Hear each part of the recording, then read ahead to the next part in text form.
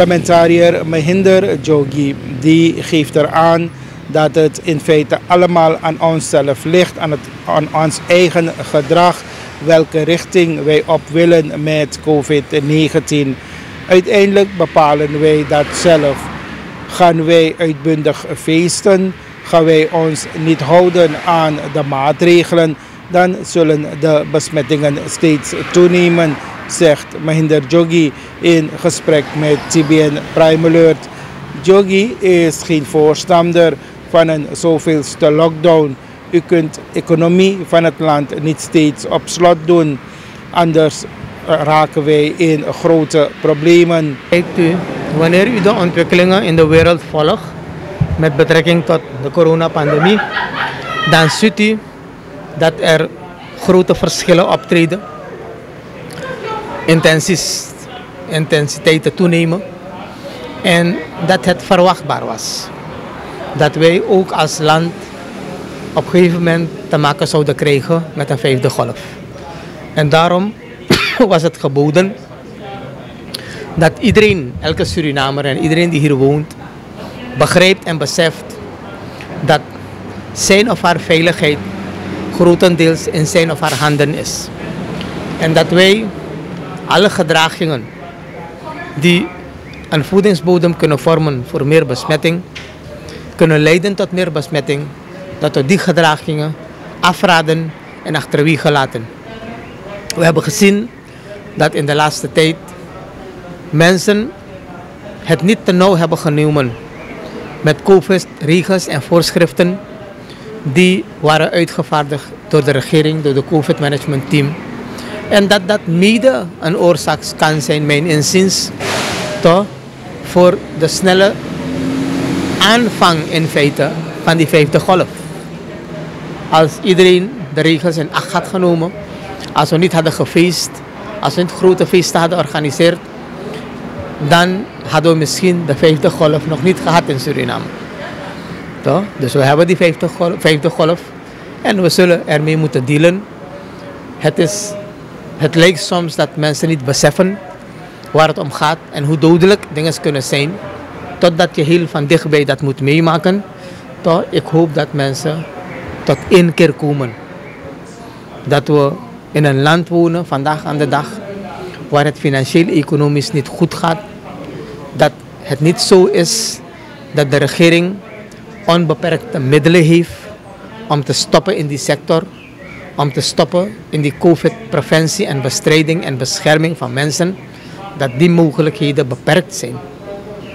En dat de minimale middelen die er zijn, wij daarmee de samenleving moeten helpen en kunnen helpen wanneer elke individu en elke burger het beseft van het is ook mijn verantwoordelijkheid.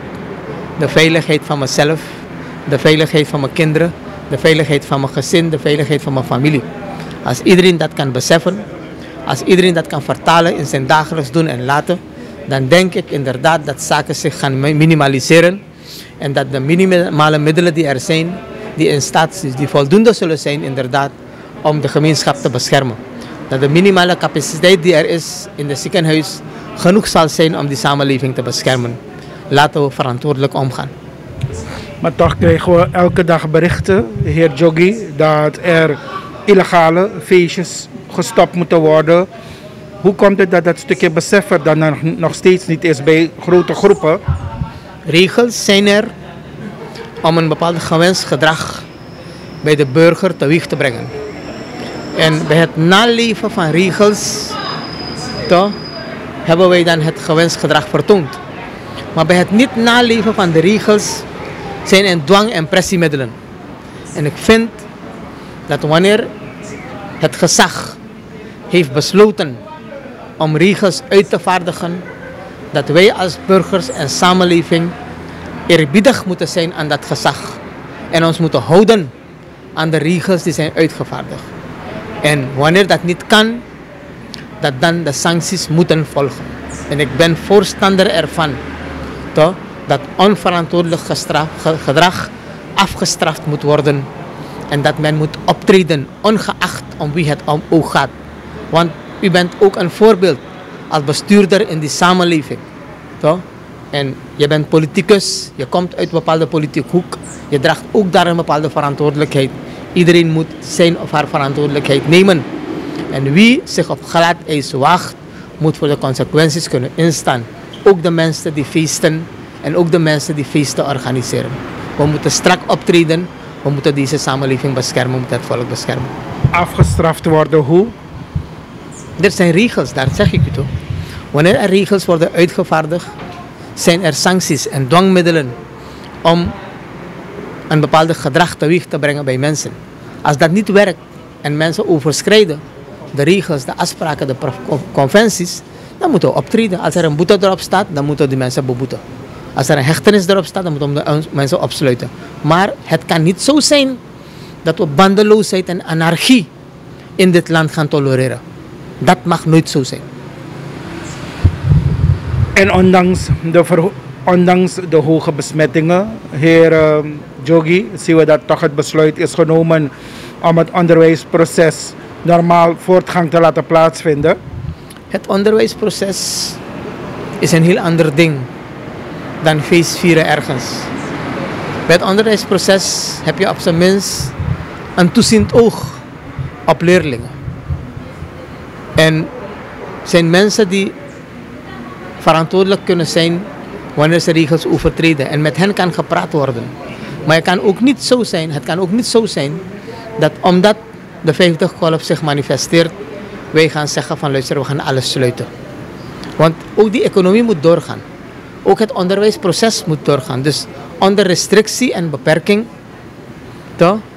onder andere protocollen, moet je een aantal processen laten voltrekken. COVID, uitgangsverbod is 9 uur. Misschien moet dat naar 10 uur, misschien moet dat naar 8 uur. Maar geef ook de ondernemers de ruimte om een beetje te verdienen. Nogmaals, ik zei al eerder, de financiële mogelijkheden van die regering zijn ook beperkt. We hebben gezien dat na het aantreden van de regering Santoki Brunswijk hier een vergadering is gehouden om die noodtoestand te verlengen. En daar heeft de regering aangegeven hoe beperkt de middelen zijn. En er is een uitgangsverbod ingesteld.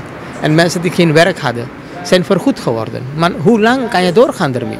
Dus je moet de mensen ook de ruimte geven. Nogmaals zeg ik je, iedereen moet die verantwoordelijkheid op zich nemen. En het is misschien aan die regering om meer voorlichting te geven, om meer informatie te geven in alle talen, misschien de hele dag.